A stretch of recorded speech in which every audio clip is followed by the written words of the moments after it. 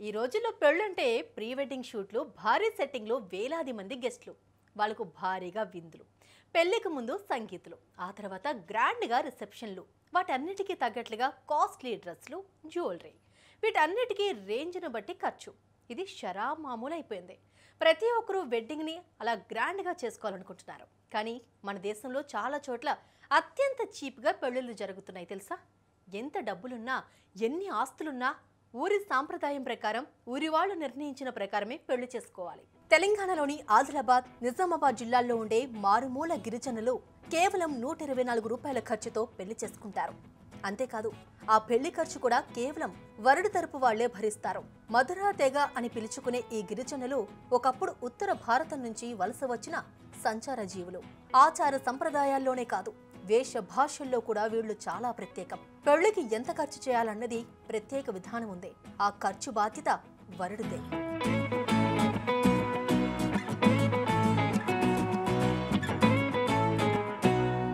పెళ్ళికొచ్చే అతిథులకు భారీగా ఏర్పాట్లు చేయాలి. లేదంటే వాళ్ళు అలుగుతారు. పెళ్ళి కొడుకు లేదా పెళ్ళి కూతురికి మంచి విడిదివ్వాలి. లేకుంటే గొడవ చేస్తారు. ఇలాంటి గొడవల వల్ల పెళ్ళిళ్ళు ఆగిపోయిన సంఘటనలు గతంలో చాలానే చూసాం. కానీ మధురా తెగలో మాత్రం అస్సలు ఇలాంటి వాటికి తావే లేదు. మధురా తెగ సంప్రదాయంలో ఆడపిల్ల వారింట విడిది సందర్భంగా బాత్ అంటే భోజనం ఖర్చు రాత్ అంటే రాత్రి బసకయ్యే ఖర్చు మూట్ అంటే పెళ్ళి కూతురు ఆమె తండ్రికిచ్చే కొంత నగదు మొత్తం కలిపి నూట ఇరవై నాలుగు రూపాయల ఖర్చు మాత్రమే. దేనికి ఎంత ఖర్చు పెట్టాలో ముందు విభజిస్తారు. దాన్ని బట్టే ఖర్చు చేయాలి. అన్నిటికీ కలిపి నూట ఇరవై నాలుగు రూపాయలు కాబట్టి వాటిలో ఎంత సౌకర్యవంతంగా ఏర్పాట్లు చేయగలరో అంతే చేస్తారు. ఆడపిల్లి వాళ్ళు కూడా దాన్ని ఆనందంగా స్వీకరిస్తారు. ఇక ఈ తెగలో పెళ్ళి మూడు రోజుల పాటు జరుగుతుంది. అది కూడా చాలా ప్రత్యేకంగా చేస్తారు. మొదటి రోజు అమ్మాయి అబ్బాయికి నలుగు పెడతారు. రెండో రోజు అబ్బాయికి పసుపు స్నానం చేయిస్తారు. ఇక మూడో రోజు తాలి కట్టించి పెళ్ళి చేస్తారు. ఆ తర్వాత అప్పగింతలు చేస్తారు.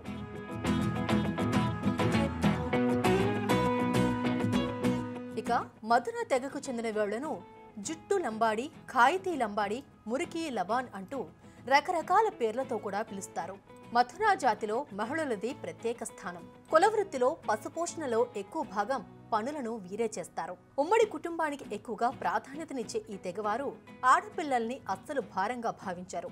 అంతేకాకుండా వరకట్నం తీసుకోవడం సంప్రదాయానికి విరుద్ధంగా భావిస్తారు.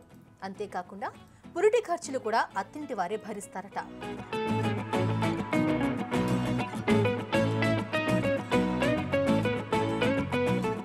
శ్రీకృష్ణుడు వెంకటేశ్వర స్వామి పూరి జగన్నాథులను నమ్మే వీరి పూజల్లో సిక్కు ప్రార్థనలు కూడా ఉంటాయి. నిలువు కొప్పు వేసి అలంకరణ చేసుకోవడం ఈ తెగ ప్రత్యేకం. దాన్నే చూండా అని పిలుస్తారు. ఇక వీరి ఆభరణాలు కూడా ప్రత్యేకమైనవే. వాటిలో తలపై నుంచి చూండా పడిపోకుండా బ్యాలెన్స్ చేసే డోరాతో పాటు మెడ చెవులు కాళ్ళకు ధరించే రాఖిడి కాటి బీడ్ చూడా పాడి చాలా ముఖ్యమైనవి. వీరికంటూ లబానా అనే ఓ ప్రత్యేక భాష ఉంది. ప్రత్యేక నృత్య రీతులు కూడా ఉన్నాయి.